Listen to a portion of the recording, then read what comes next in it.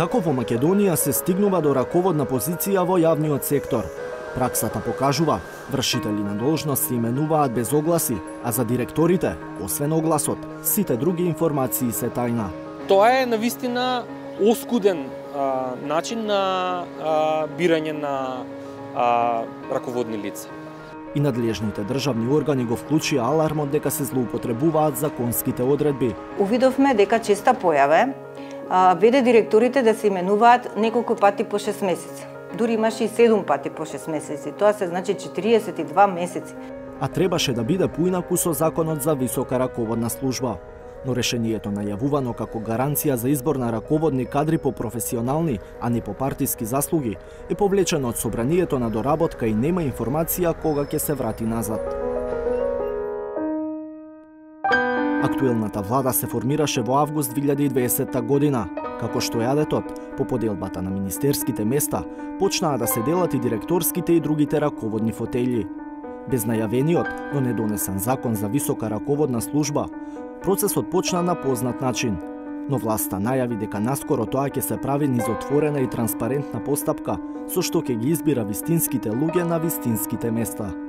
Првин, основно, елементарно, ќе имаме конкурс, ќе имаме оглас, ќе имаме барање да, да сите се научиме дека треба да поднесеме мотивацијско писмо, стандардна биографија, да понудиме план за работа и програма за работа, за да може на крајот од мандатот да цениме и да имаме мерит систем што тоа е сработено и каде сега таа институција, орган, агенција, фонд или било што се се наоѓа.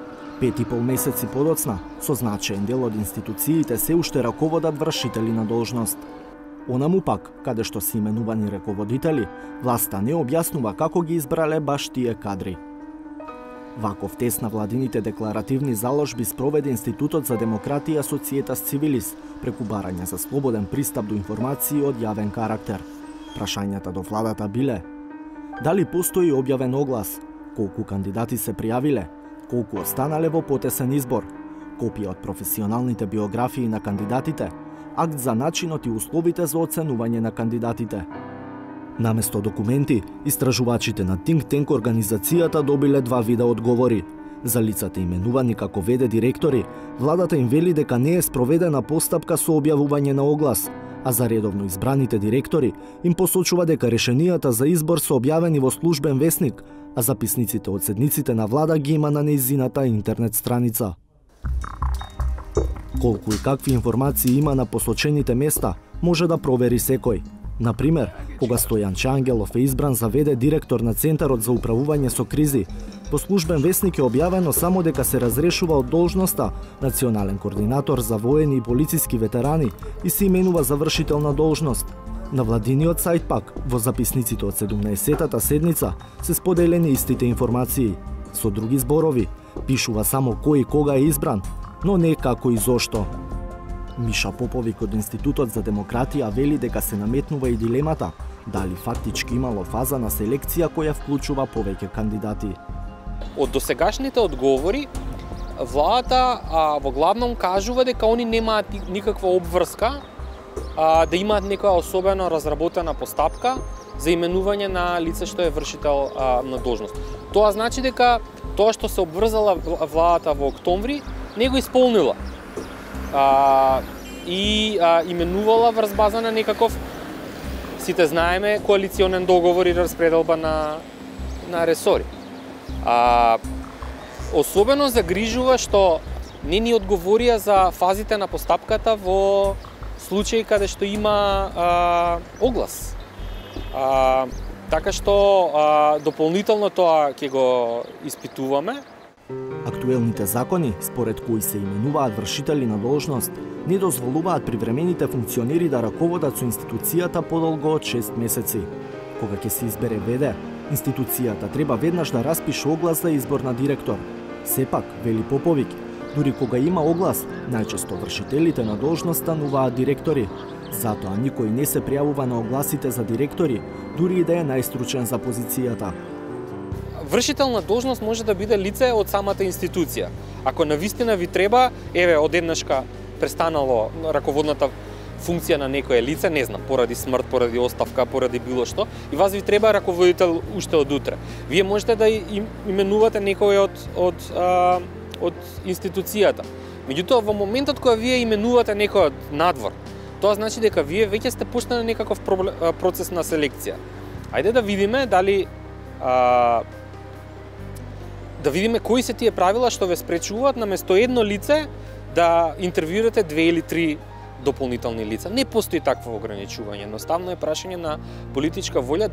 А дали постои политичка волја? Зошто владата ги крие постапките за избор на раководни лица е само едно од прашањата на кои одговори побаравме од вице-премиерот за борба против корупцијата и прв човек на владината комисија за именување Љупчо Николовски. Изминаа две недели од нашето прво барање, но на крај не најде време да ни одговори. Постапките за именување вршители на должности раководни кадри ги следи и Државната комисија за спречување на корупцијата. Нивниот заклучок е дека именувањето веде директори се прави со цел да се избегнат конкурсите, а со тоа се остава простор за политичко влијание и намалување на професионализмот во институциите. Увидовме дека честа појаве веде директорите да се именуваат неколку пати по 6 месеци. Дури имаше и 7 пати по 6 месеци. Тоа се значи 42 месеци. Ако земете во предвид дека мандатот му е 48 месеци, тој фактички цел мандат го истерал како веде директор. Многу често управните одбори не ги објавуваат конкурсите и чекаат владата да го изфилтрира името и потоа тие веднаш само, само да го назначат. Се избегнува обврската која е дефинирана во материјалните закони. Значи, таа обврска не треба да се избегнува, а и без разлика што не се објавува конкурс за веде директор, тој ги има истите одговорности како да е директор. Значи, се е потполно исто. Само што се избегнува можноста за избор на човек преку фер конкуренција, објавен конкурс и така натаму, доставување програма, како што веќе кажав. Не е проблем само именувањето, туку и разрешувањето директори. Ивановска вели дека кога предвреме се прави рокада на раководен кадар, тоа често не е проследено со програма за работа и отчетност во вршењето на функцијата. Само во една третина на ваквите случаи били испочитувани процедурите. Мислам дека ова треба да се надмине, затоа што, како што кажав на почетокот, на овој начин, на вистина се руши системот на вредности и се уништува професионализмот ние укажавме на потребата од што побрзо донесување на законот за висока раководна структура, се со цел да се постават прави луѓе на прави места, професионалци да ги раководат институциите. Оти тоа е еден од основен услов за успешно работење а законот за висока раководна служба, во кој се полагаа толку многу надежи, долго време беше заглавен во Собраниската комисија за политички систем. Така беше до ноември, кога Министерството за информатичко општество го повлече на доработка, токму во период кога владата назначи голем дел од вршители на должности и директори во институциите. Со тогашното предлог решение, директорите на институциите и државните секретари требаше да ги бира новоформирана комисија за селекција на висока раководна служба. Членовите на таа комисија пак требаше да се бираат од собранието јавно, налик на изборот на антикорупцијска. Што се доуредува во законот и кога ќе се врати во собранието? Прашавме кај надлежниот, министерот за информатичко општество Јетон Шакири. Изминаа две недели од нашето прво барање, но на крај не најде време за да ни одговори.